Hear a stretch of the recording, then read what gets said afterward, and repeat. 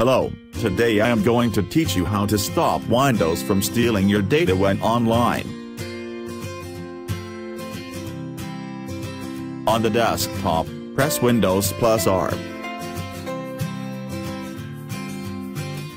In the search box below, type services.msc, and click OK.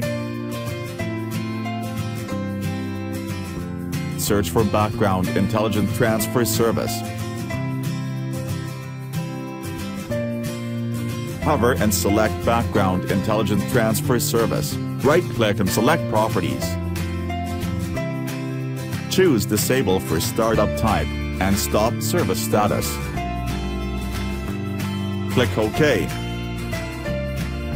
Also search Windows Update and follow the same procedure as you did for Background Intelligent Transfer Service. Bingo! You have stopped Windows from stealing your data. You can also leave a comment in the description below. Please don't forget to like, share, and subscribe to the channel.